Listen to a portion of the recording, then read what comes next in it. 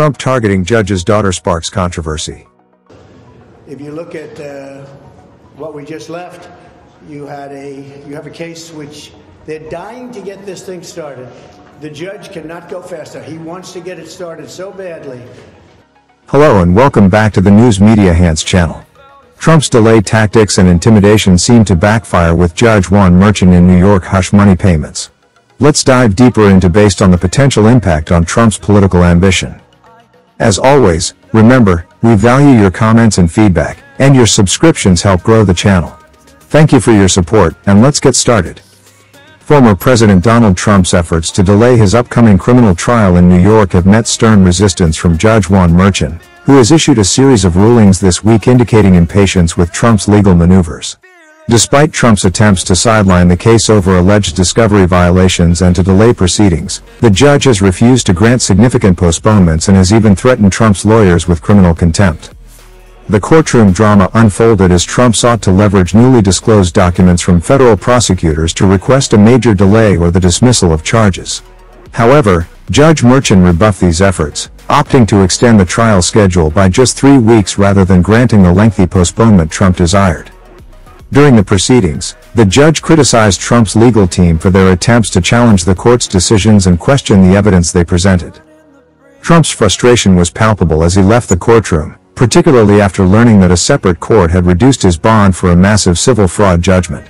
However, any hope Trump felt was short-lived as Judge Merchan maintained the April 15 trial start date for the hush money case, prompting Trump to express his dissatisfaction with the proceedings and accuse the judge of hastening the trial. They're dying to get this thing started. The judge cannot go faster. He wants to get it started so badly. And there's tremendous corruption, Trump told reporters.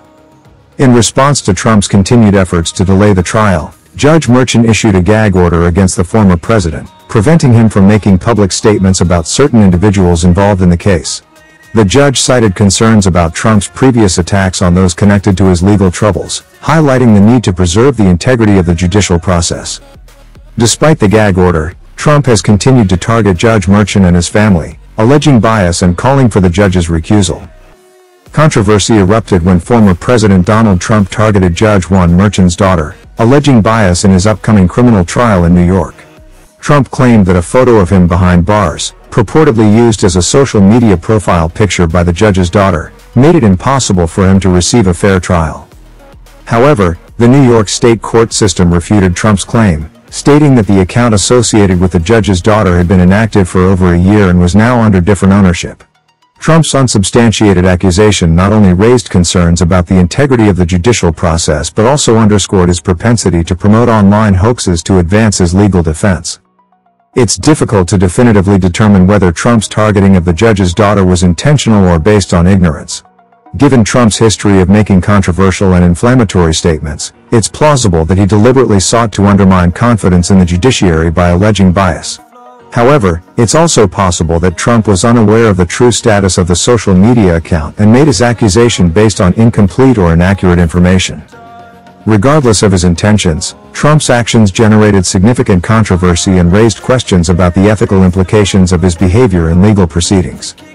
The former president's trial has several pending motions for postponement. Trump's lawyers argue that the trial should wait until the Supreme Court rules on his presidential immunity defense in another criminal case. They have also requested an adjournment separately for prejudicial pretrial publicity. An fair and impartial jury can be selected in this county at any time in the near future, including in April of this year. Therefore, the court should adjourn the trial date until the prejudicial media coverage subsides, Blanche wrote in the motion, which was made public Tuesday. The judge has not yet ruled on either demand, but he has been voicing increasing frustration with the tactics of Trump's lawyers as the week has progressed, in a written ruling on Tuesday, Judge Merchan accused Trump's lawyers of trying to bypass the judge's requirement that they seek permission before filing any new motions. The judge had implemented this step earlier this month, stating that it was necessary to save time as Trump's legal team had been repeatedly filing last-minute delay attempts. Judge Merchan in the ruling also recalled Trump's attorneys that he has the power to issue punishment for criminal contempt. The court advises counsel that it expects and welcomes zealous advocacy and creative lawyering, However, The court also expects those advocates to demonstrate the proper respect and decorum that is owed to the courts and its judicial officers and to never forget that they are officers of the court, Merchan warned. As such, counsel is expected to follow this court's orders. As Trump's trial date approaches, his legal battles intensify, with Judge Merchan's ruling signaling a determination to proceed with the case despite Trump's attempts to delay or dismiss it. The Hants geniuses, do you think Judge Juan Merchan's trial date will hold up against Trump's delaying tactics?